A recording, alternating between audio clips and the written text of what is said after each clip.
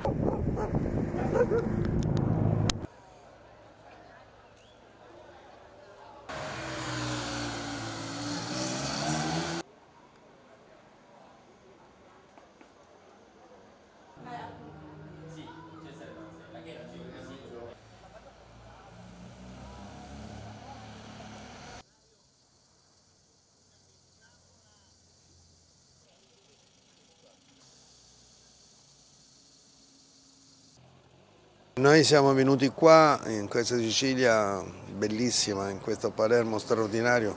nel 2013 per salvare la Targa Florio, per salvare la sua storia e quello che Vincenzo Florio aveva scritto nel 1906 proprio iniziando questa bellissima storia. Lui ha scritto questa, le ho realizzata perché continui e, perché, perché, e noi penso che abbiamo il dovere di seguire le sue indicazioni, di continuare questa bellissima storia, ma a fianco a questa storia esaltante, di momenti particolarmente felici di questa terra, ci sono stati altri momenti molto tristi, molto dolorosi. Noi siamo stati prima